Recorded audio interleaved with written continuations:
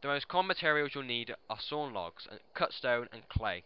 Luckily that these are plentiful in Skyrim. In fact, most building sites will have one or, or more easily accessible sources of clay and stone. For sawn lumber, any lumber mill owner will be glad to sell and deliver as much as you need. You need a lot of nails, unfortunately, even a novice blacksmith will soon find themselves turning iron into nails with ease.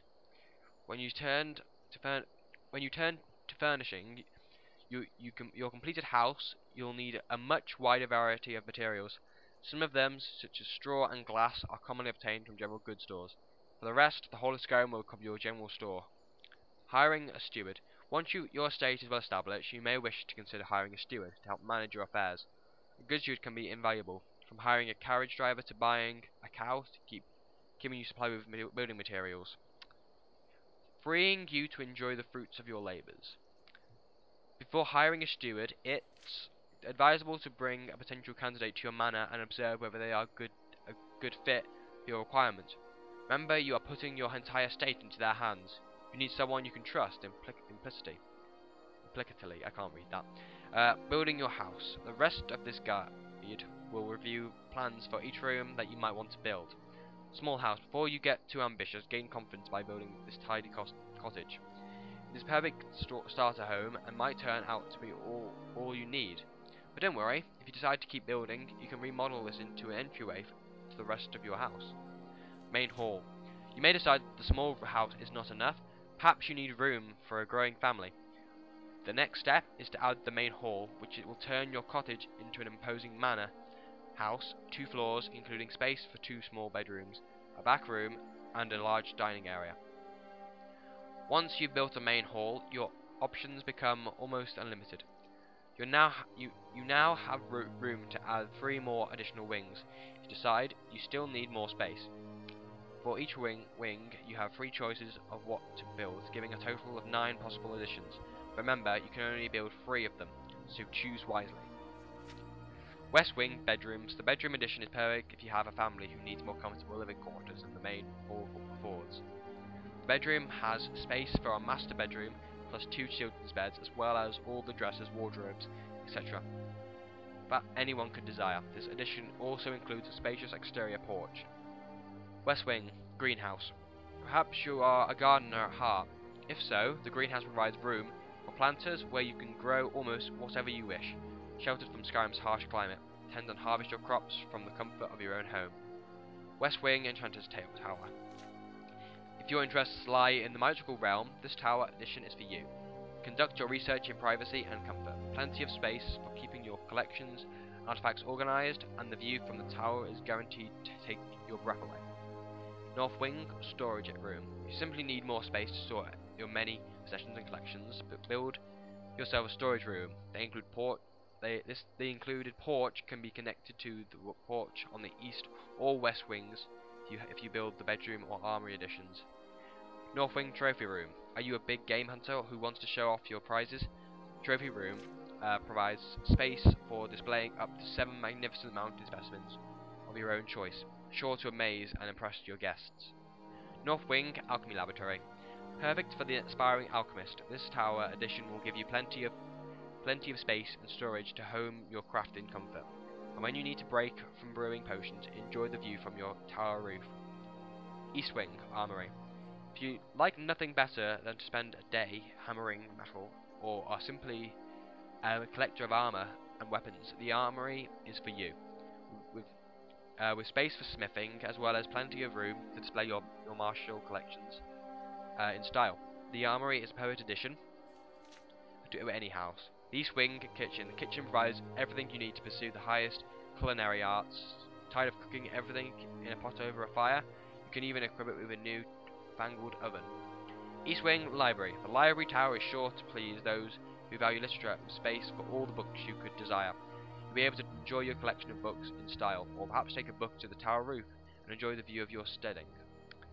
Okay, I think we'll uh, we'll take this with us. I think. Uh, let's just uh, build some nails and stuff. All that. So yeah, I just build lo uh, locks as well. We need the locks.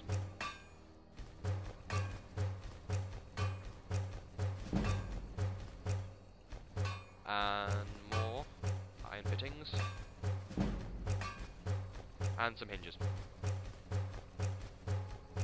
There we go. Oh yeah, we haven't uh, planned it yet. Drafting table. Small house layout. That is what we will do.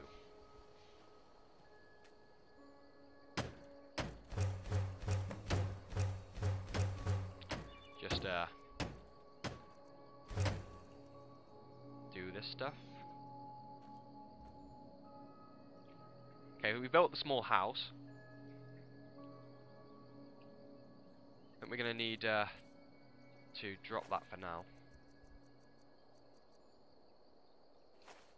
I think we're gonna need probably need to buy more lumber for our house.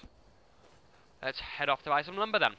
Uh, there's, it gives you a location where you can buy some lumber, so that's what we'll do. So far we haven't got much of a house, it's just a little, little small house. I don't know how much, how big it will be by the time we finish our first building session. It will take us a while to build it properly. Uh, we don't we don't have a spouse or anything, so we don't need to worry about uh, or kill. We don't have kids, so we don't need to worry about having anything like that for now. Like getting it all ready and quickly.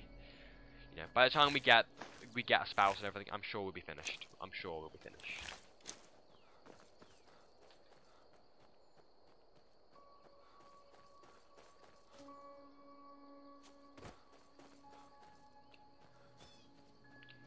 Takes a it, it will take a, a, long time to build the house though. I mean, when I I did uh when I did this with uh, another character, and he was a high level character, he was like level 30. I did it with a character, and it took a long time. It took a while to get everything I needed furnished. So don't expect it to be something that will do instantly. It will take some time to fully furnish. Oh Christ! Run! Run! Guys, my hands are cold. My hands are getting cold.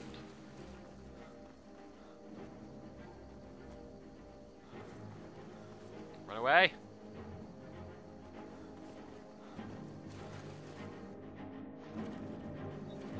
Yeah, I don't know why my hands are so cold. My hands are like really, really cold. It's probably because it's the UK. Like I'm putting my hands on my face now and it's like freezing.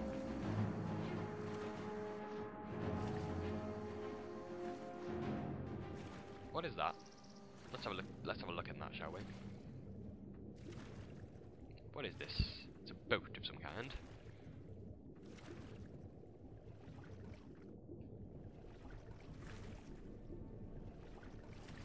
Okay. We don't, there's nothing in here, so... Got out before, we managed to get out before we drowned. And there's a, uh, st a standing stone. Wonder what it, what, what it is. Lady stone. What does the lady stone do? More quick. no, I don't think that's uh, that's for me. To be honest, I don't think that's quite per Drarth. I think he wants more of a. Uh, he doesn't. He, I don't. He doesn't quite know what he wants yet. We'll have to see what he finds.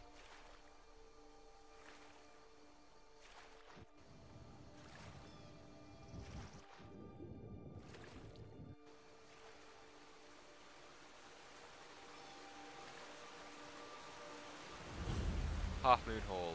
Mill, sorry. The Half Moon Hall.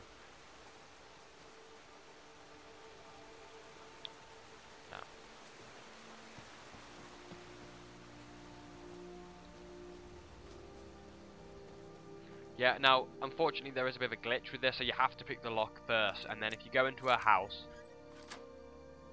I think it's a glitch at least. You have to pick the lock, go into a house, if I leave straight away she'll come out with me, so I'm just going to have to do that.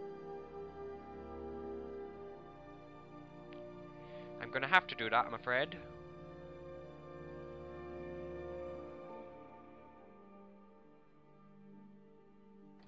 You're not supposed to be in here. And let's leave, and she'll come out with us.